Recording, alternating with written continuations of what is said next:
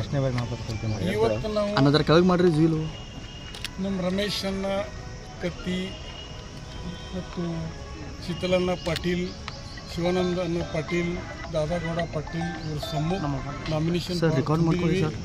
Just ಈಗ ಬರೋಕ್ಕೆ ಬಂದಿದ್ದೀವಿ ಮತ್ತು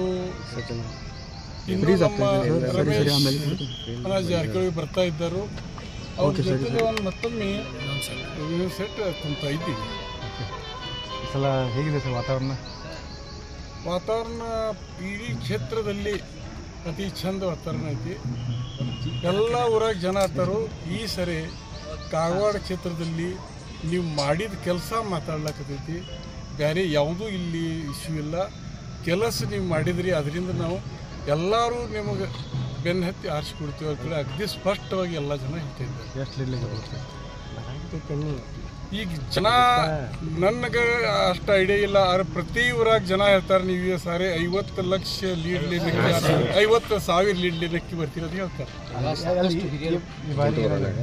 ವಿಶೇಷವಾಗಿ ಕಾಂಗ್ರೆಸ್ ಹೋಗಿದ್ದು. ಅದು ಕಾಂಗ್ರೆಸ್ ಪ್ಲಸ್ ಆಗುತ್ತೆ ಅಂತ ಹೇಳ್ತಾರೆ. ಎಷ್ಟು ಮಟ್ಟಿಗೆ ಯಾಕಂದರೆ ಕ್ಷೇತ್ರ ವಿಂಗಡಣೆ ಆಗಿದೆ.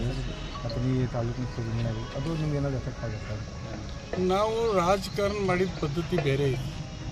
ವೋಟರ್ಸನ್ನ ಶಾಸಕ ಈ ರೀತಿ ರಾಜಕಾರಣ ಮಾಡಿಲ್ಲ.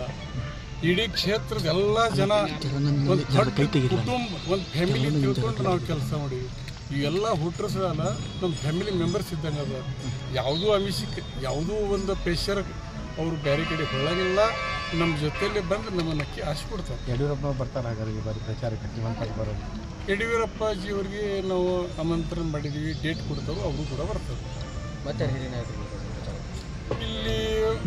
ಮೋದಿಜಿಯವರು ಕೂಡ ಬರೋರದಾರು ಡೇಟ್ ಇನ್ನ ಫೈನಲ್ ಆಗಿಲ್ಲ.